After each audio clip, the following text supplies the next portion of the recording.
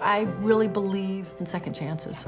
I believe people can change. As you get to know him, you want him to watch you before he... They've proved they can do wrong. They prove that they can wrong and they have wronged society. Let them prove they can do something right. Let them prove they can contribute to society. I just pray that I will be able to to give her to a war vet.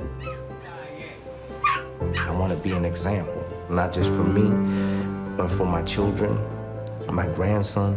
I want to prove to myself, I have to prove this to myself, that, I, that I'm going to do this.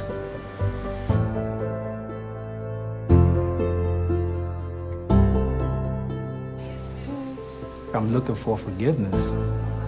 This puppy, this is gonna be my second chance. That's just how I see it. It's a second chance for me to do something right.